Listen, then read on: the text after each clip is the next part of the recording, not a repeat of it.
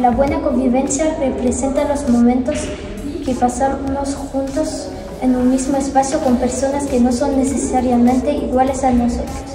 Por lo mismo no debemos burlarnos de los demás por ser diferentes. Travailler en groupe et ne pas laisser quelqu'un seul. Ne pas aller tout le temps aux toilettes et respecter la parole quand quelqu'un parle. Contrôler ses mots et coopérer ensemble et ne pas juger la personne par sa apparence. Respecter, écouter, comprendre. Aider, ensemble, ensemble, ensemble, notre devise dans ce monde.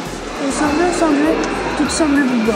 Ensemble, ensemble, nous comprenons qu'il faut aimer.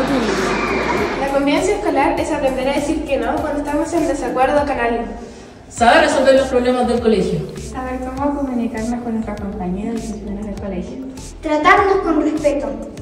Tous unis, tous uniques, le vivre ensemble et l'art de l'amitié. Sé amable y comparte con la gente que quieres.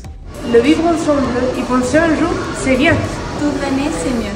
Pour éviter qu'un conflit devienne de plus en plus grand, il vaut mieux communiquer nos sentiments à la personne concernée dès le début du problème. Convivir en armonía requiere la comprensión y aceptación de nuestras diferencias. Todos somos iguales como las hojas de los árboles en dignidad y derecho. Vivre ensemble, sociabiliser en partageant. Écoutant avec du respect et de la fraternité.